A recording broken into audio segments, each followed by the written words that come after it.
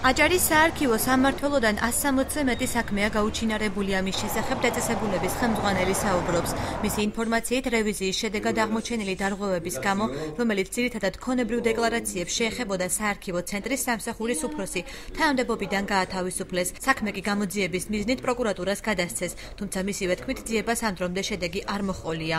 ადამიანები მოდიოდნენ თხოვლობდნენ მასალებს, ჩვენ ვერ ვაძლევთ ვაძლევთ უარყოფით პასუხებს.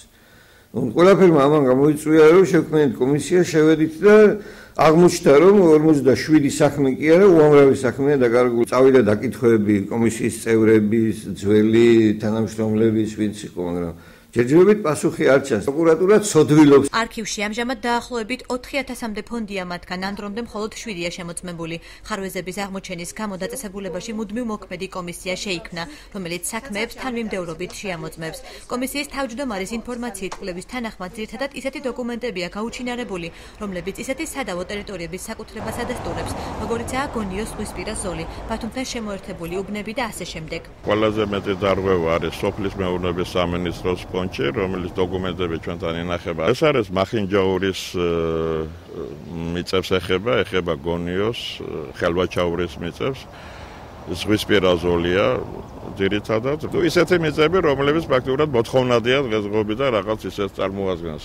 ბათუმის პროკურატურაში გამოძიებისთვის ხელის შემშლელ ისეთ ფაქტორებზე საუბრობენ, როგორიცაა დანაშაულის ჩადენის ვადების არცოდნა და მასალათა სიძველე.